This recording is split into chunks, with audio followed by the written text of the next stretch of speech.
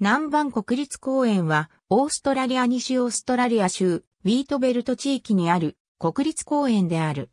西オーストラリア州の州都パースの 200km、北西、小さな海岸沿いの町、サバンティーズの 17km 南に位置する。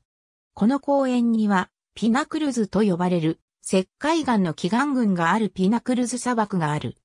この南蛮国立公園の名前は、オーストラリア先住民族アボリジニの言葉で、おそらく、曲がる、ねじ曲がるという意味の言葉を由来としている。この名前は、1938年に南蛮川に初めて名付けに使われた。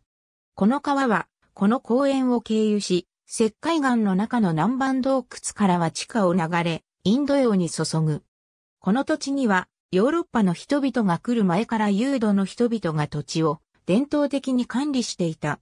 この公園は砂漠のほか海岸や花が咲く場所など様々な場所がある。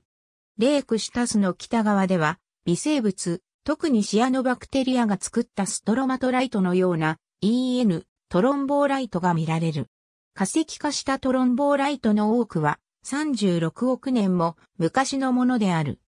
ピナクルズデザートディスカバリーセンターでは、この地域の歴史的文化的な価値を解説する展示が行われている。ヨーロッパ人が最初に訪れたのは1658年である。ドイツの地図に記録が残っている。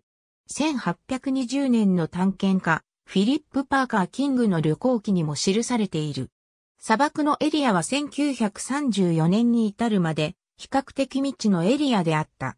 国立公園になったのは、それまで別々に準備されていた3つのエリアを統合し、1994年7月に指定された。ありがとうございます。